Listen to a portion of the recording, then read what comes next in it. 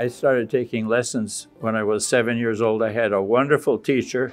I've had three great music teachers in my life my piano teacher, my orchestra teacher in high school, uh, Dana Connell, who taught me to play the bass fiddle, and I can do that too uh, if I want, and uh, Fred Schrader, another music teacher in high school. I remember them, I think they had more influence on me than anything.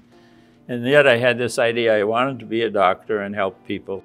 I have just uh, been very happy here with, with the people here, and, and they've been very nice to me, and they listen to me play the piano, and and then they say that was my favorite song. The guy one he said I play All the Things You Are by Jerome Kern. He came up to me and he said that's the greatest love song ever written. And I thought about it and I said I think you're right.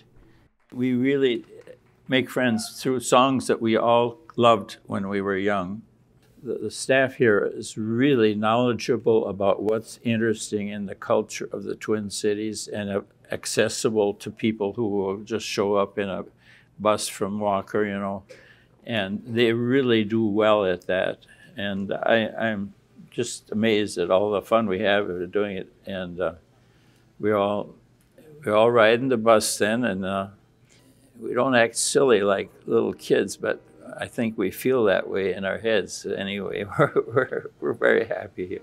Walker Methodist makes me feel just like I'm home.